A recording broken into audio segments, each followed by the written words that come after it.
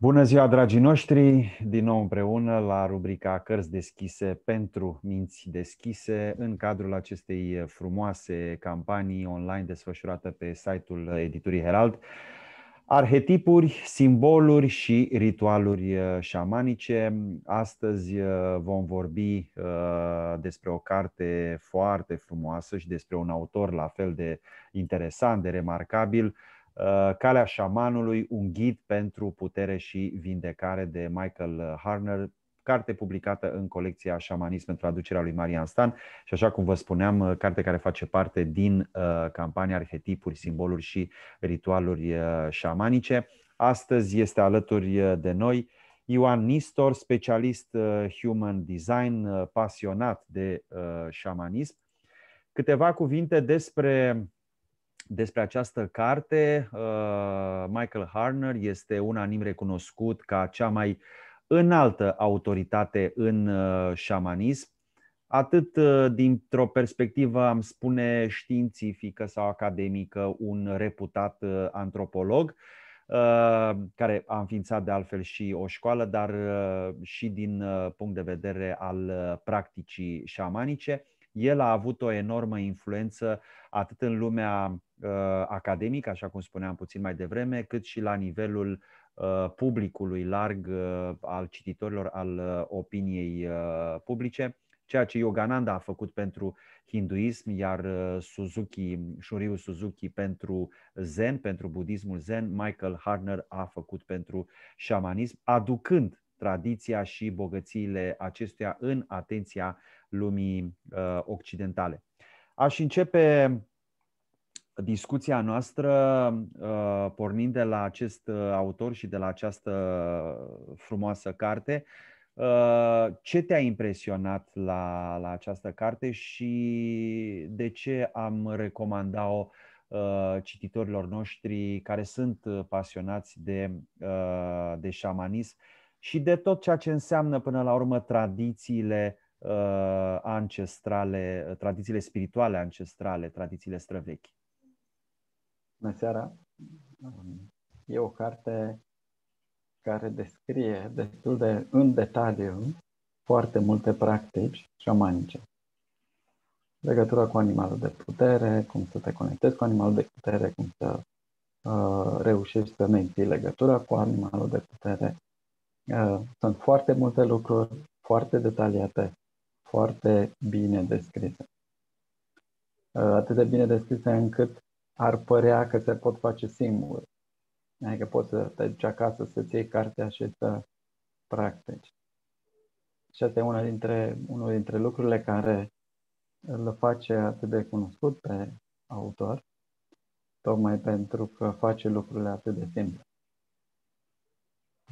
Și asta e revelator. Bineînțeles că una este să faci lucrurile din carte și alta este să le faci sub un anumit ghidaj.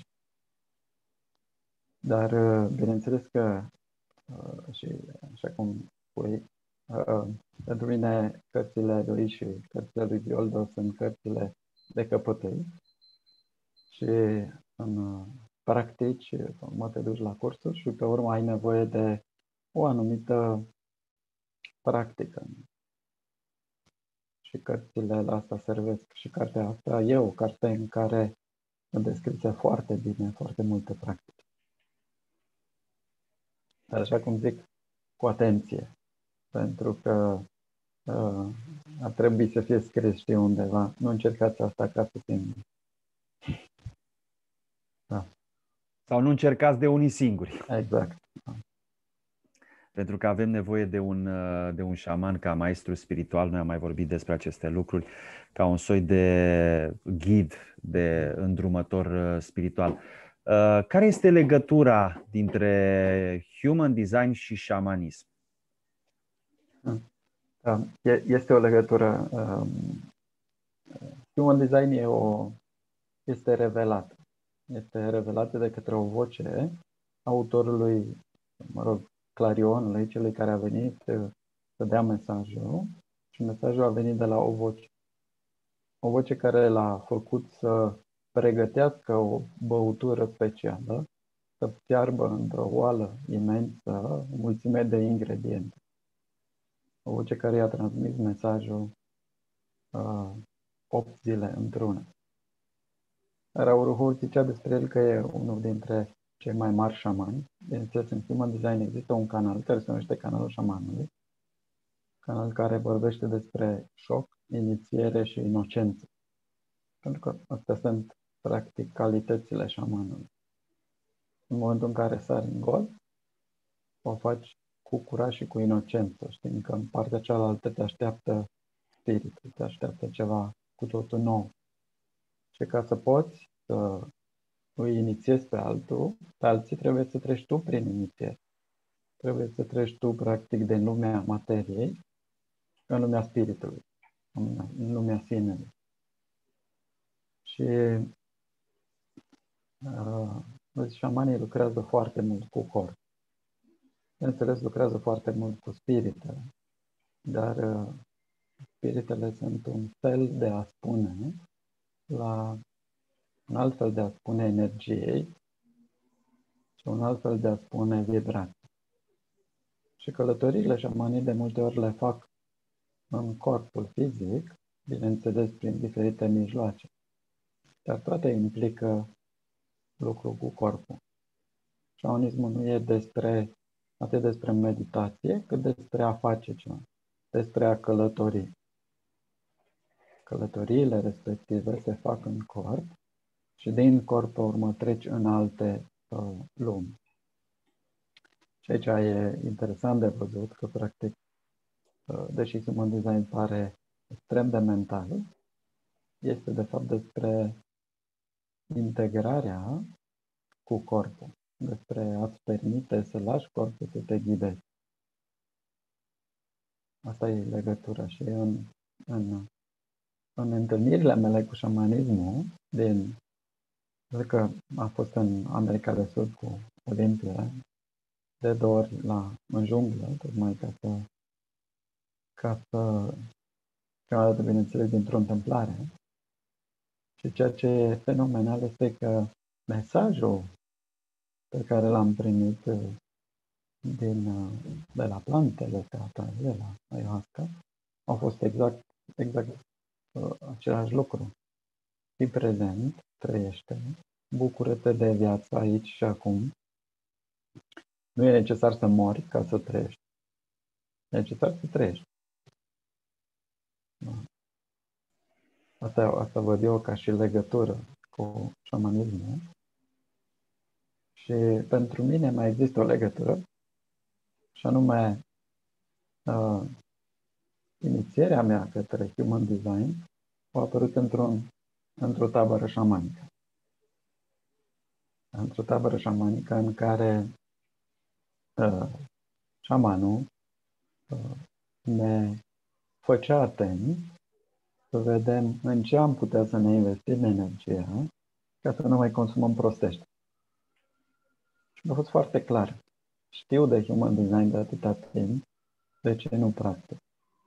Și asta a fost imboldul pe care uh, l-am simțit și pe care l-am folosit ca să mă apuc de himodizm. Și m-am întors din tabără și n-am făcut uh, nimic altceva decât human design timp de șase ani de zile. Spiritual vorbind. În uh, calea șamanului, uh, și nu numai în această carte, o altă carte interesantă din aceeași uh, colecție, din colecția Șamanism, este vorba despre cartea profesorului Octavian Simu, uh, Șamanismul uh, călătorie între două lumi.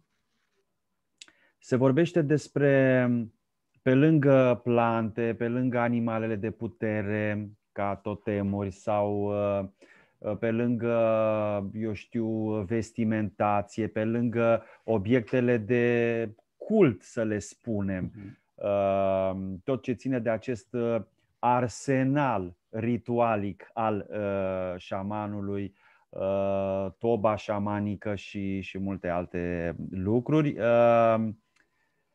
Se vorbește despre un soi de filon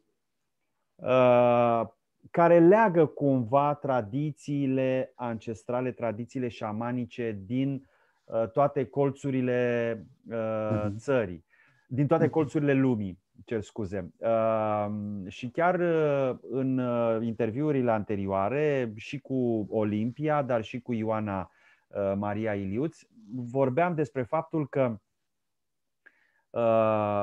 anumite lucruri le regăsim în tradiția din America de Sud, în jungla amazoniană, în, uh, eu știu, uh, țările din, Euro- din America Centrală, în uh, Mexic, America de Nord, poate Siberia, tradiția din nord, din nordul Europei, din peninsula scandinavă, din Papua Noua Guinee, Noua Zeelandă, Australia, Uh, și uh, multe alte zone uh, ale lumii.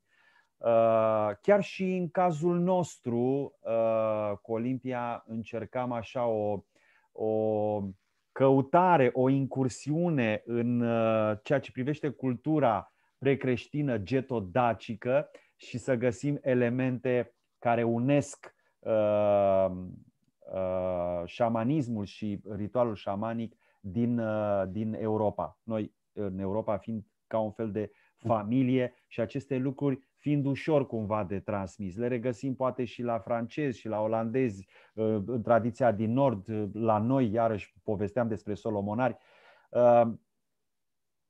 Și ele îmi povesteau despre faptul că niște șamani din America de Sud, de exemplu, n-au ajuns în Siberia să vadă cum este acolo. Sau unii din tradiția din nord a Europei, din peninsula scandinavă, n-au ajuns în uh, uh, Noua Zeelandă sau în Australia. Și totuși există ceva. Mhm. Există ceva uh, oarecum insesizabil da? sau imperceptibil în aparență, dar există ceva care leagă aceste tradiții șamanice din colțurile uh, lumii. Ce leagă aceste tradiții e pământul pentru că se spune, nu, venim din pământ și în pământ ne întoarcem. Și atunci, practic, uh, memoria ancestrală, sau mai degrabă, uh, toate călătoriile în alte vieți și toate uh, imaginile care de multe ori ne gândim că ar putea să fie ale noastre din alte vieți, pot să aibă foarte mare legătură cu, cu strămoșii noștri.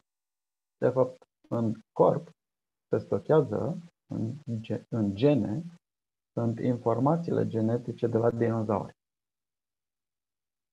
Și fiind încă de la dinozauri, bineînțeles că avem acces la informația genetică a tuturor predecesorilor noștri.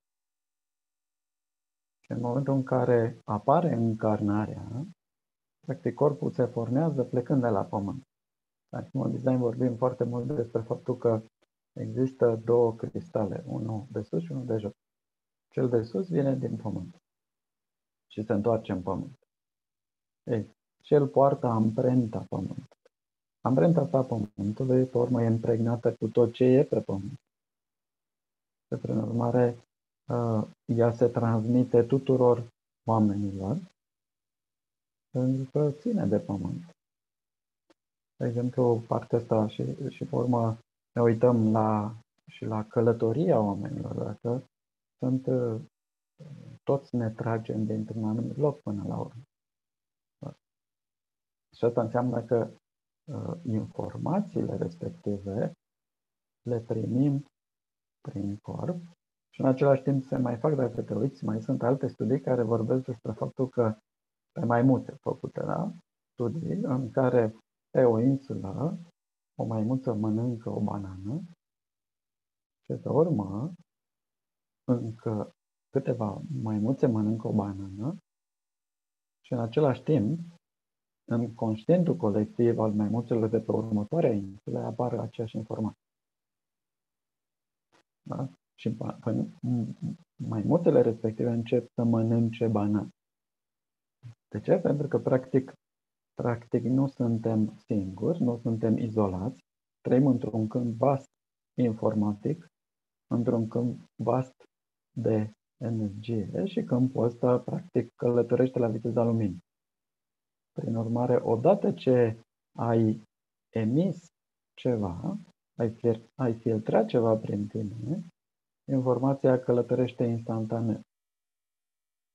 De multe ori, și, și asta poate că ai observat că și în descoperirile științifice, pe urmă, oamenii uh, uh, se, câteodată sunt în contradicție pentru că sunt doi care au făcut aceeași invenție. De exemplu, invenția telefonului. Nu? Bell nu era singur, dar el a fost un pic mai rapid. Da.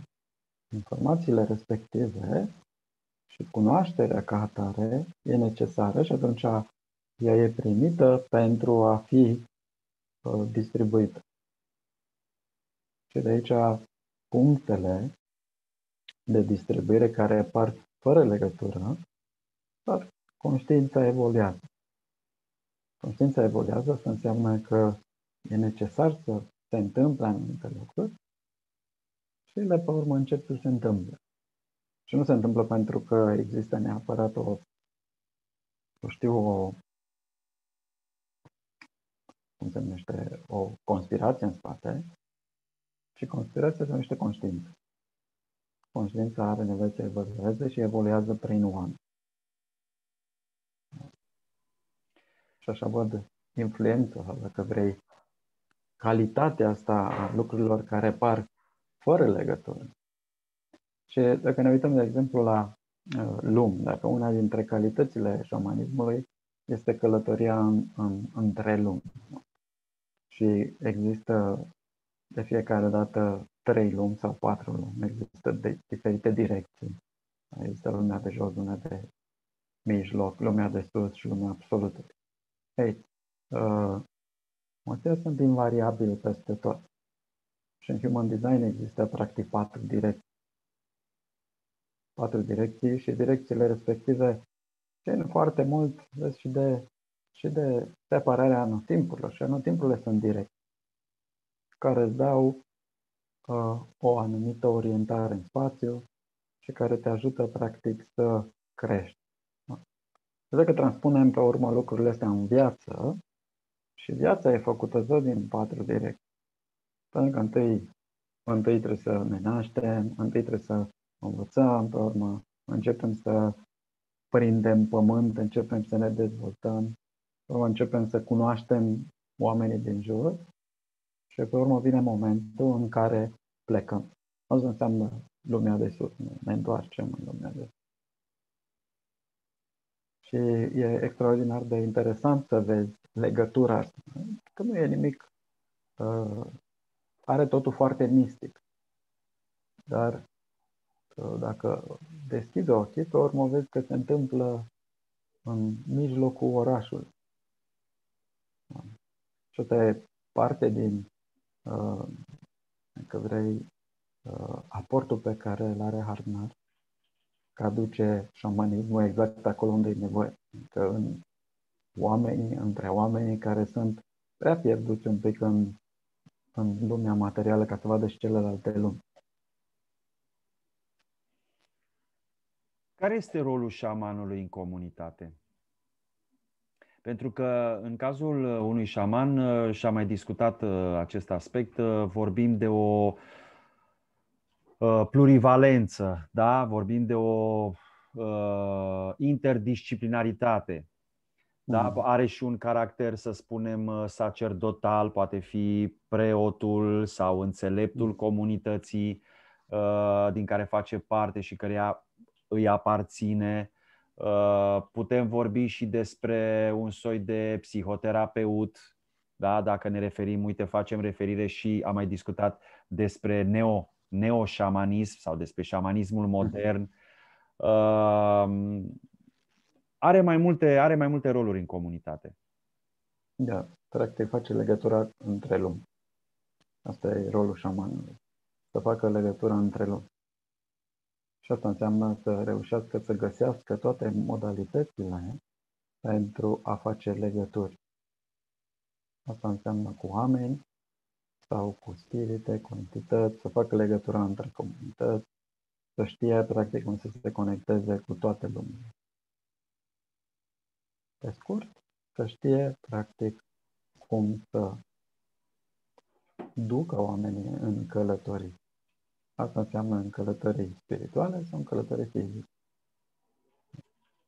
Rolul șamanului nu e să fie conducătorul statului, ci să fie înțeleptul și cel care dă deschiderea ca să vezi altfel.